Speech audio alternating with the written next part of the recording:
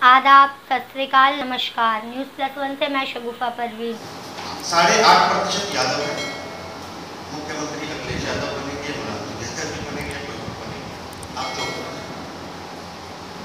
दूसरा, दलित, अगर कोड आठ कोड दलित लगाता हूँ तो साढ़े आठ प्रतिशत ही दलित है, और सारे दलित मिलाकर सोलह प्रतिशत दलित मुख्यमंत्री आपको मायावती को बनाना पड़ेगा। एक बात याद रखिएगा, मैं पॉलिटिकली यहाँ में स्टेट में भी डायरेक्टली इन्वॉल्व रहता हूँ और डायरेक्टली लड़ता हूँ। एक चीज़ जो पार्टी का मालिक होगा, अगर तो आपने समाजवादी पार्टी के मान लिया 200 मुस्लिम मेंबर एमएलए बना दिया क्या वो पार्टी की गाइडलाइन को वायलेट कर सकते हैं? नहीं कर सकते।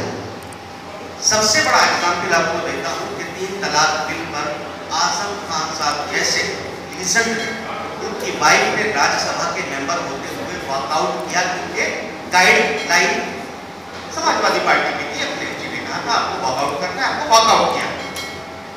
आप समझ रहे हैं चीज़ों को? अगरचे मायावती आपकी मुख्यमंत्री नहीं, पार्टी अध्यक्ष है, और आप 300 एमएलए जिता के भेजते हो, बात मायावती की चलेगी, वो 300 एमएलए सदन में बैठ के हाथ उठाने के अलावा कुछ नहीं कर सकते। पॉलिटिकल आपको डेमोक्रेटिक पॉलिटिकल साझेदारी चाहिए और साझेदारी कैसे मिलेगी? हिस्सेदारी कैसे मिलेगी? आपकी अपनी पार्टी हो, अपनी पार्टी का आपका अध्यक्ष हो, और वो वो चाहे, आप उसको जिताए, आप टिकट जो है यादव को दे, आप टिकट ब्राह्मण को दे, आप टिकट जाट को दे, आपको जिसको मर्ज़ी है टिकट दे। पार्टी अध्यक्ष तुम्हारा चाहिए, पार्टी तुम्हारी चाहिए। अगर तुम अपनी पार्टी जिताओगे तो माफ़ करना, जो भी होगा गाइडलाइन तुम्हारी चलेगी। और सरकार ने अगर बीस, तीस, पंद्रह, पहले याद है पचास एम एल ए लेके मुख्यमंत्री बनना पड़ा था मायावती को। और आज तक वो राजनीति खत्म नहीं हो पाई। अगर हम ये सोचते रहेंगे एक चीज़, एक सत्तरवा सवाल पूछ रहा हूँ, याद रखिएगा। पिछले दिनों क्या मॉब लिंचिंग हो, चाहे वो अखलाक कांड हो, चाहे पहलू कांड हो, चाहे वो दुनिया भर के कांड हो, अखिलेश यादव मायावती आपको नज़र है समाजवादी जिसके पीछे कांग्रेस या राहुल गांधी आपको नज़र आए?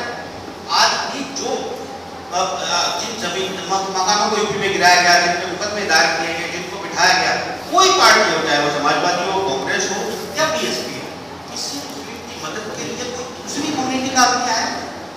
नहीं आया। एक भी नहीं आया। सिर्फ़ आप फ़ोटो सेशन कराने के लिए किसी के घर में जा सकते हो। वो फ़ोटो सेशन करा के आप अखबार में मीडिया में मीडिया भी उनका हक बात करने के लिए तो आपके पास एक पत्रकार तक नहीं आप तो सरकार की बात करते हैं पीछे एक साथ वोट करेंगे तो चाहे अखिलेश यादव हो कांग्रेस हो आपके साथ साझेदारी करके चुनाव लड़ना पड़ेगा और अगर अगर तुम्हारे तीन मंत्री भी बने और तीन मंत्रालयों में तुम्हारे लोगों को नौकरी मिल जाएगी अगर मुख्यमंत्री मायावती अखिलेश यादव और प्रियंका गांधी हुई आप पचास मंत्री बना देना। आपको नौकरी नहीं मिलेगी, क्योंकि स्तुति मुख्यमंत्री कार्यालय से होती है। होम सेक्रेटरी या सेक्रेटरी प्रमुख सेक्रेटरी जो है, वो डिसाइड करता है किसको क्या जाना है। आपके मंत्री भी कुछ नहीं कर सकते हो बेकार होते हैं। खाने में तुम्हारी भैंस चोरी छुटाने के मुर्गी चोरी चुरा छुटाने के इसको पकड़वाने के अलावा कुछ नहीं कर सकते। ये बात अगर मुस्लिम कम्युनिटी हिंदुस्तान की समझ ले कि आपको डेमोक्रेटिक पॉलिटिकल हिस्सेदारी चाहिए, और वो आप लेने में उतर आए फिर आपकी तरक्की को कोई नहीं रोक सकता, आपकी एजुकेशन को कोई नहीं रोक सकता, आपके वजूद को कोई नहीं रोक सकता। एक चीज़ आपको याद दिलाना चाहता हूँ माफ़ करना। आप लोग सब सर्टिफिकेट लेते हो सेक्टर में सबका आप लोग सब सर्टिफिकेट आप डरे हुए घूमते हो कि कोई हमें ये ना कहते कि हम कौन है। एक बंटवारा हुआ था उन्नीस में।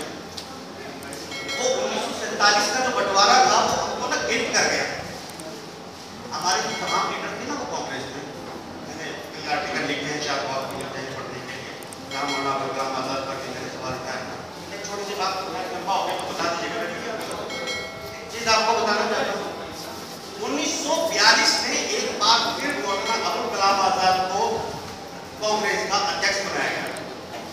क्यों बनाया गया? क्योंकि जब सेकंड वर्ल्ड वॉर चल रहा था तो सेकंड वर्ल्ड वॉर में यूएस के बात है, और रशिया के यूएसएसआर के बीच में भी कि हम यूएन बनाएँगे और यूएन बना के जितने ब्रिटेन के गुलाम हैं, उन देशों को हम आज़ाद करेंगे और यूएन के तहत चलाएँगे।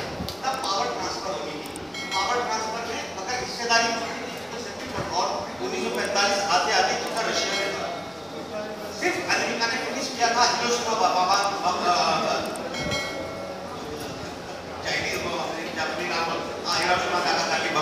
उनको फिनिश किया था।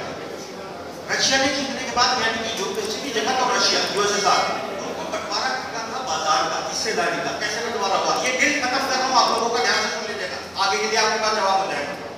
ये जब ये गिल्ड खत्म करना था, ये उन्नीस में जब ये सेकेंड वर्ल्ड वॉर खत्म हो गया, नेताजी सुभाष चंद्र बोस, लापता हो गया, लंबी